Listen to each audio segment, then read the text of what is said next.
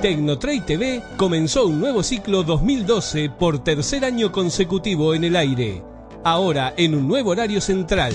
Los viernes a las 22 por Canal Rural y también se puede consultar y visualizar durante las 24 horas en la web de Carmae www.carmae.com.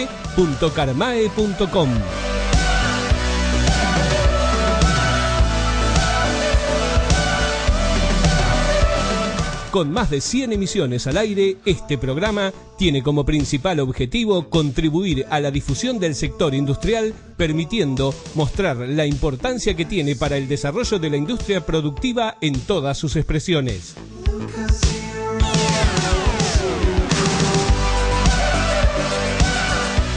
Un espacio semanal donde se tratan temas de actualidad económica y política de importancia para el sector y se busca expresar a través de la pantalla las nuevas tecnologías aplicadas a la industria.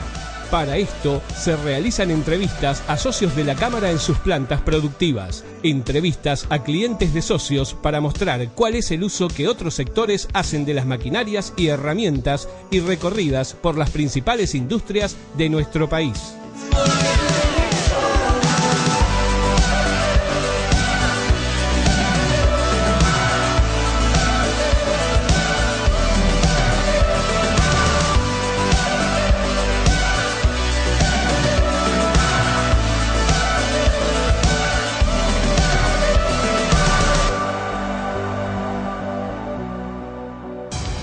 Anteriores te estuvimos mostrando cómo es el proceso de fundición de aluminio, como fue el caso de las ollas Essen y también la fabricación de máquinas herramientas que luego se utilizan para la elaboración de otras máquinas, como fue el caso de plegadoras y guillotinas Sena.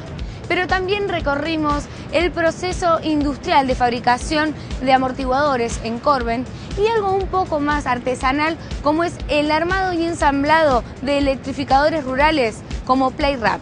Pero ahora vamos a meternos en un mundo de una disciplina un poco más compleja, como es el área de la ingeniería que involucra la electrónica, la computación y la robótica. En Tecnotrade TV nos metemos de lleno en el mundo de la automatización.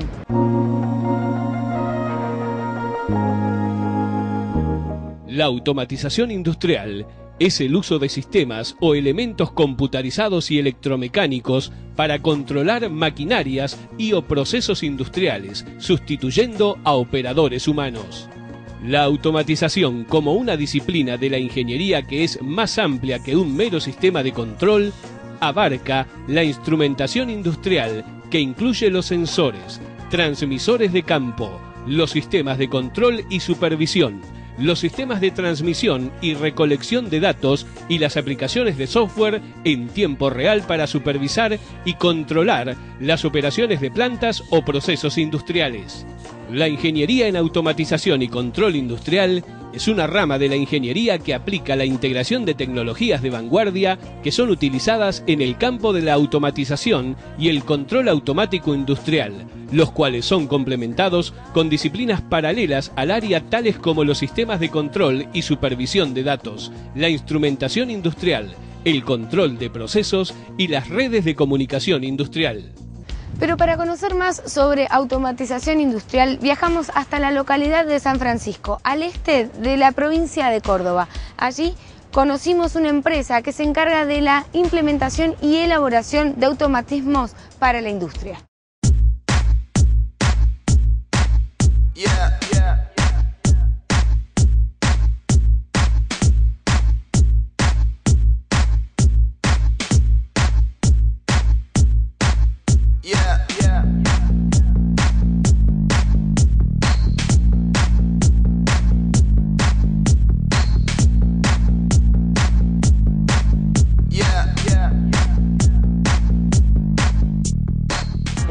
Todas las empresas que tienen procesos productivos estandarizados, que producen piezas o partes o equipos, eh, mayormente siempre quieren buscar una eficiencia, mejorarlos, eh, entonces nos llaman a nosotros para que automaticemos ese proceso.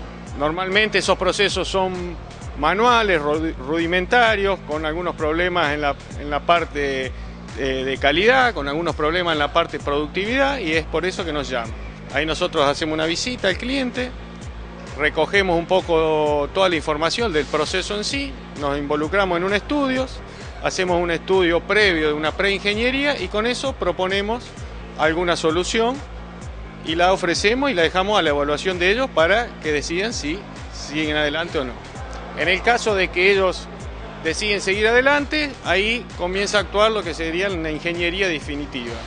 Hay una recopilación de datos específicos, hay, digamos, todo un proceso de recaudar información, no solo información técnica, sino también todas las informaciones que a veces no están, que están ocultas en un proceso, las incorporamos, las procesamos y se hace todo el desarrollo de la ingeniería mecánica, eléctrica y de funcionamiento del sistema, a la medida del cliente. Una vez que toda esa ingeniería está resuelta, se lo presenta al cliente para una aprobación y una vez estudiado, evaluado y aprobado por el cliente, comenzamos un proceso de fabricación, que comienza con el ingreso de materias primas, como primera medida, el procesamiento de las materias primas. Nosotros hacemos todo lo que sean mecanizados, todo lo que sea proceso de chapa, tenemos sistema de corte láser para, la chapa, tenemos sistema de desplegado automático, tenemos eh, cuatro centros mecanizados para todo el mecanizado de, metales, tanto sea acero, aluminio, bronce y todo eso. Tenemos bueno, tornos, equipos para mecanizados grandes, hasta piezas de 6 metros. Una vez que todas las piezas están mecanizadas y terminadas y a su vez se acopió todo lo que son componentes estándar, como en el caso nuestro, el componente más importante, el robot y el resto de algunas otras cosas, comienza la etapa de montaje. Cada una de las soluciones son montadas dentro de nuestra planta, son testeadas, son probadas. En la mayoría de los casos, con los clientes hacemos una prueba que se llama tryout, donde hacemos una corrida de producción simulando la producción del cliente en nuestra planta y una vez que lo cumplió en calidad, productividad y todo, es aprobada por el cliente, ahí se desmonta, vamos hasta la, empresa del cliente y hacemos el montaje final.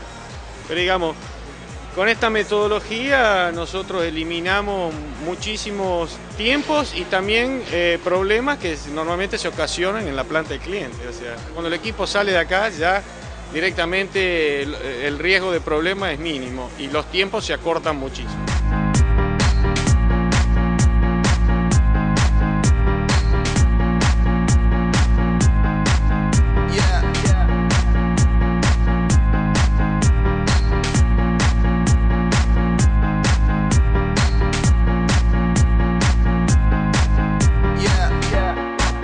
Este es el sector de la ingeniería, es donde prácticamente comienza eh, a, materializarse eh, la solución de, los procesos o, la, el requerimiento, la solución del requerimiento del cliente. Esto sería la parte más sensible e importante que tenemos en este tipo de, empresas, donde las soluciones, el componente de ingeniería es muy alto en, nuestras soluciones y no dependemos solamente de equipamiento, sino de, digamos, de todo nuestro know-how, nuestra experiencia, volcarla en cada una de las soluciones. Bueno, acá hay una evolución constante en lo que se refiere a la, al aumento de capacidad, o sea, cada equipo, cada solución que hacemos nos brinda siempre mejoras que nos permite adquirir experiencia que la podemos volcar en el, próximo proceso. O sea que es el área a la cual nosotros le damos la mayor importancia y la mayor fortaleza de la que tenemos. O sea, el resto, los equipos, las máquinas son son bienes que los podemos tener o no, pero si no tenemos ingeniería y no tenemos recurso humano capacitado, eh, no tenemos muchas soluciones que ofrecer, esa es la realidad.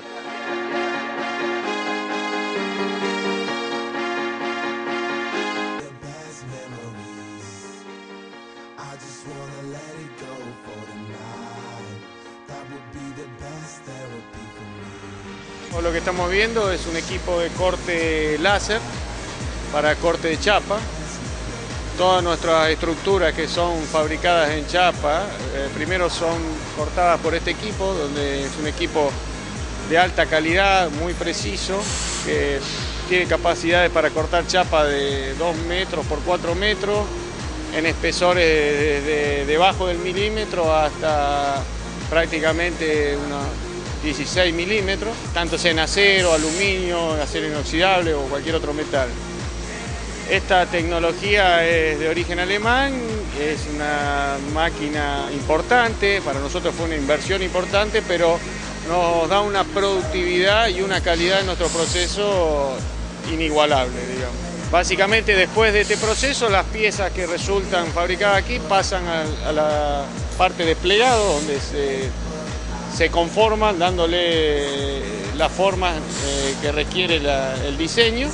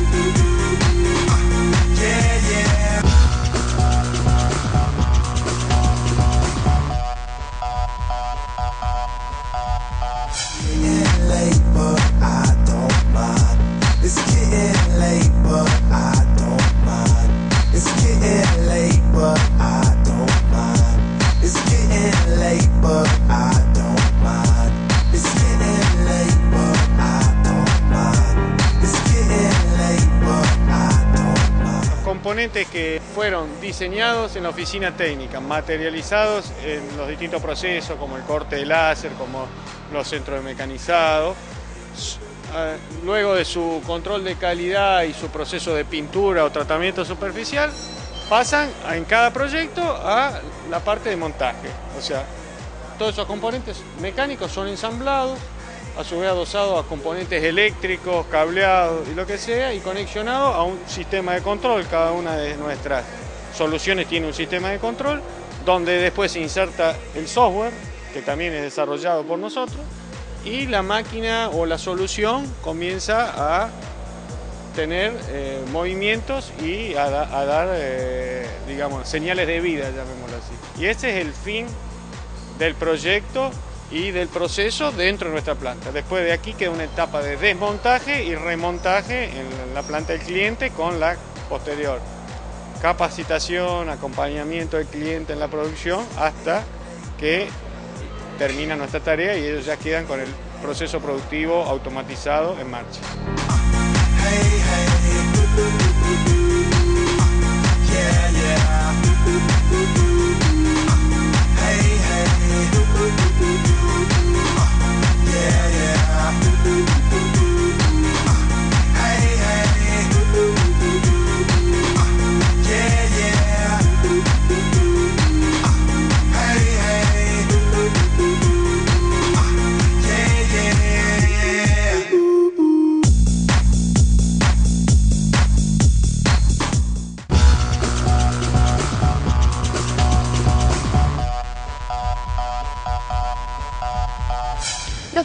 Automatización están presentes en todo tipo de industria.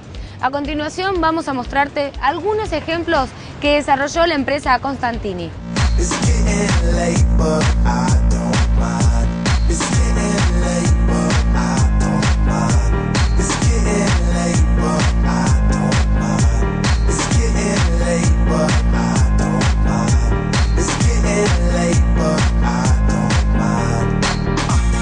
Bueno, lo que estamos viendo aquí en el fondo es una instalación para soldadura por arco, soldadura con aporte de alambre por arco para laterales de colectivo.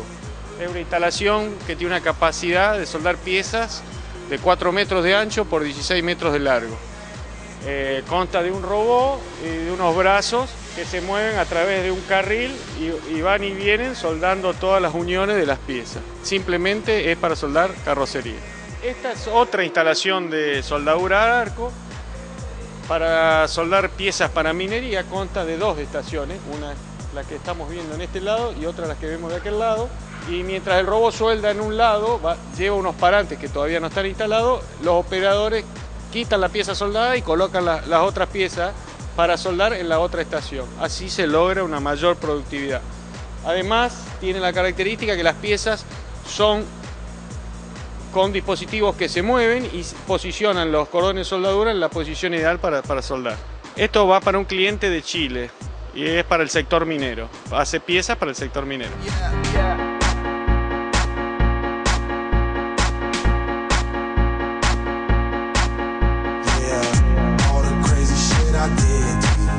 Bueno, la que estamos viendo aquí atrás mío es una instalación automática de plegado. En este caso, el cliente nos proveyó del equipo de plegado, la máquina que pliega, pero en vez de que el proceso sea manual, nosotros a través de la utilización de un robot lo hemos implementado en forma automática. O sea, en este, en este pallet se cargan las piezas, el robot toma las piezas y manipula todas las posiciones de plegado en forma automática. Con eso se logra una alta productividad y también se evitan los riesgos de lesiones porque el proceso de plegado para piezas de este tamaño es altamente riesgoso para los operadores. Esto es para un cliente que fabrica galpones para la industria eh, avícola, pollos.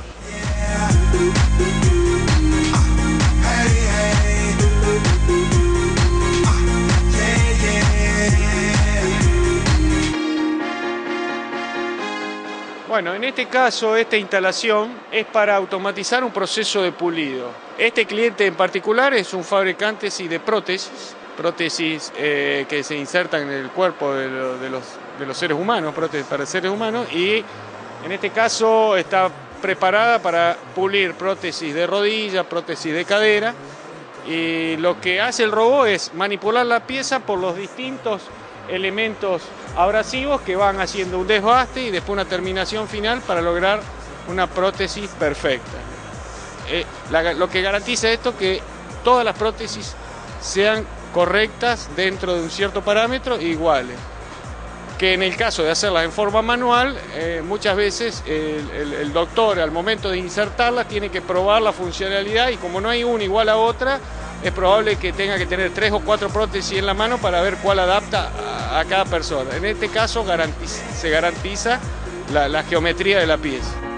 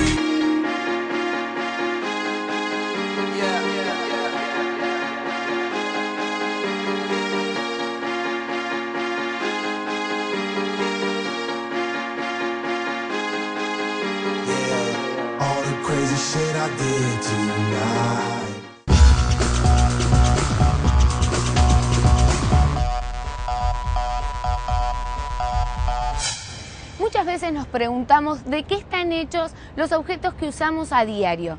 Tecnotrade TV muestra esos procesos, las tecnologías que se utilizan en nuestro país para su fabricación y también las personas que intervienen en ellos. En esta tercera temporada de Tecnotrade TV del ciclo 2012 te invitamos a que nos acompañes al sur de la provincia de Santa Fe, a Venado Tuerto. Allí recorreremos las instalaciones de la fábrica de ollas, una de las más importantes de nuestro país.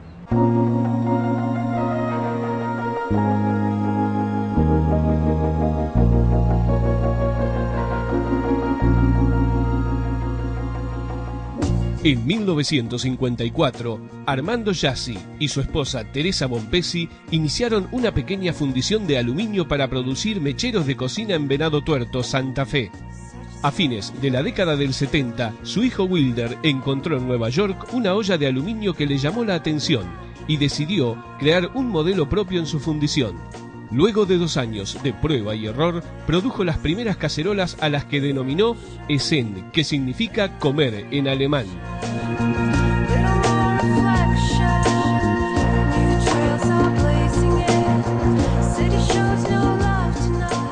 Con el tiempo, la planta de Venado Tuerto se fue convirtiendo en una de las fábricas de cacerolas de aluminio fundido más grande del mundo. Hoy por hoy es la fábrica que mayor cantidad de aluminio líquido al año maneja nuestro país. Muchos de nosotros ya las conocemos, hasta las usamos diariamente para cocinar. Tecnotrade muestra cuáles son los procesos de fundición, mecanizado y recubrimiento necesarios para hacer una olla.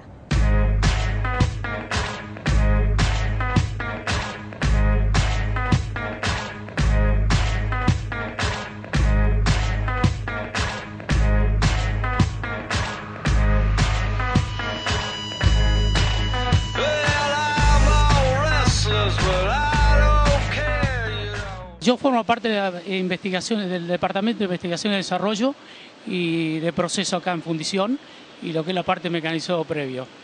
Eh, como primer paso, nosotros queremos comentarle cómo recibimos el material. El material lo recibimos a través de Sicamar, en ollas presurizadas, en un material en estado líquido. Eh, como comentario anexo a eso, quiero explicarle que el aluminio es totalmente reciclable. Luego del recibimiento del material hacemos un procedimiento aquí en el sector de mejora, digamos, del tratamiento a través de un procedimiento que consta de un agregado de sales especiales más un agregado de nitrógeno por un determinado tiempo específico que nos permite tener un material eh, en mejores condiciones para el proceso de fundición.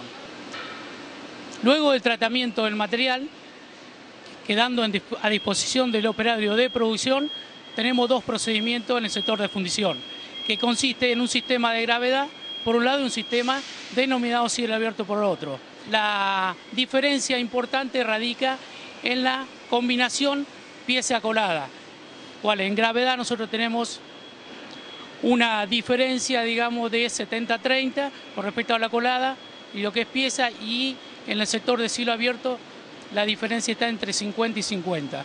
Eso hace la condición total de la pieza que nos permite tener también además una, una mayor producción y hacer a través de sistemas nuevos de cielo abierto una mayor cantidad de piezas con menor cantidad de material. Eso básicamente lo que es el procedimiento de fundido acá en el sector.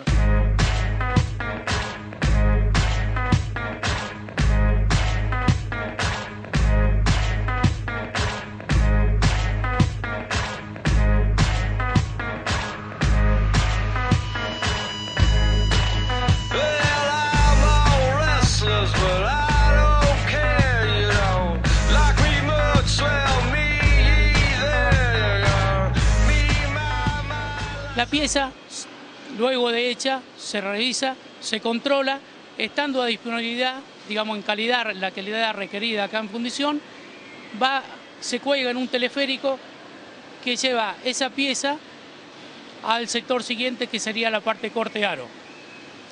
El sector de corte aro consiste en separar aquello que hablamos en determinado momento entre lo que es la pieza y lo que es colada. La pieza va por un lado, sigue su curso normal a través de los procesos siguientes y la colada se desecha, vuelve al sector de fundición para proceder a llevarlo al sector de Sicamar, que es donde recibimos el material líquido y lo vuelven a procesar. Por eso que la aclaración en su momento lo hacíamos en referencia a eso, que era justamente el reciclado del aluminio.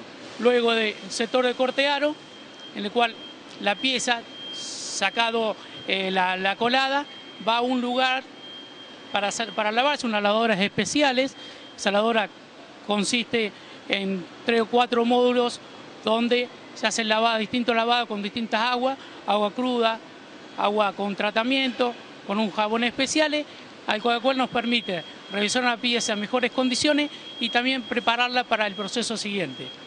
En ese sector se hace un control específico de la calidad, luego del cual las que están en condiciones pasarán al proceso siguiente y las que no volverán a su sector eh, inicial, digamos, sector de fundición, donde también se vuelve a reciclar, al igual que toda la parte de la colada.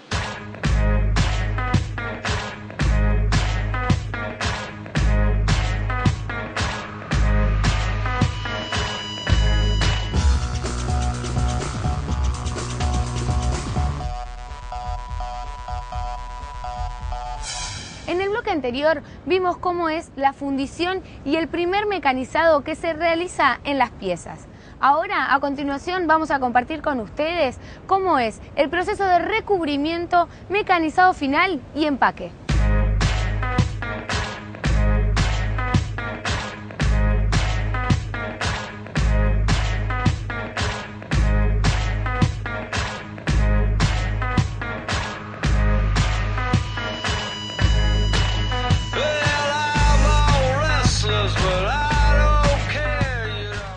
Bueno, en, esta, en este sector, el sector de recubrimientos, contamos con tres líneas de aplicación italianas donde se revisten las piezas en distintas etapas. En la primera línea se aplica el esmalte vitrocerámico en el exterior de las piezas y posteriormente se aplica en una segunda línea el antiadherente. Eh, previo paso a esta aplicación de antiadherente tenemos un proceso de arenado para otorgarle la rugosidad que le conferirá el anclaje del revestimiento interior a la pieza y secciones complementarias como son la aplicación de decoración en piezas de forma serigráfica y la decoración de sujeciones, es decir, eh, cabos y perillas que se hace en forma electrostática.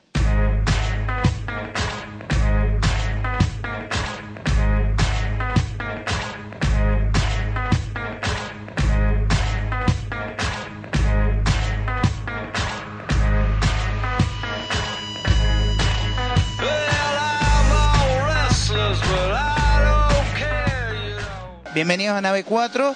Eh, en esta parte final del proceso de fabricación de ollas Essen tenemos eh, el área dividida en dos partes. La primera es mecanizado final y empaque.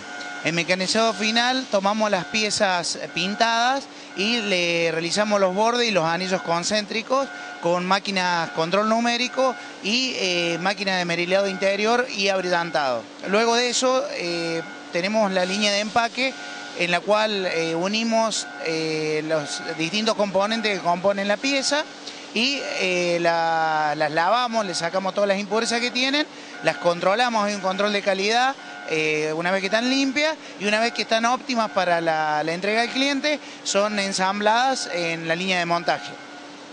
la línea de montaje tiene varios controles a través de su paso, tiene un instrumento, un aparato de láser que les graba un número de serie que nos permite la trazabilidad de la pieza, tiene controles de peso para evitar cualquier faltante de algún insumo, es lo más ergonómico posible para que el trabajo sea lo más cómodo para el personal y lo más productivo. Desde este punto la pieza sale ya lista para, ser cargada en los camiones que abastecen al mercado.